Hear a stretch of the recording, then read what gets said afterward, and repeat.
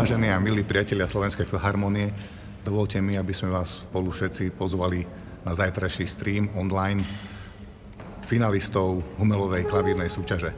Všetci traje budú hrať štvrtý Beethovenov klavírny koncert, tak si ho zahráme aj s generálkou orchestra a ja 6 krát a vy máte šancu si ho vypočuť 3 krát. Hello, I am Sona Kim from South Korea and I'm studying now in Austria, Strasbourg.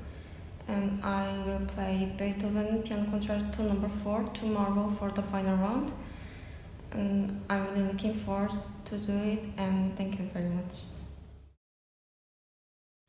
Hello, my name is Leo de Maria. I'm from Spain and uh, now I am studying in University Mozarteum in Salzburg. I just would like to invite you, all of you, to the live streaming of this final round of Hummel International Piano Competition.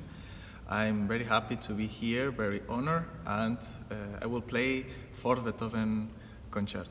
So welcome all and hope to see you soon.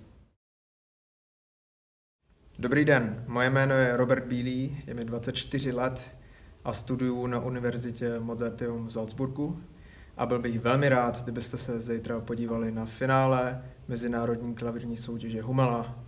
Budeme hrát Beethoven čtvrtý klavírní koncert. Děkuji.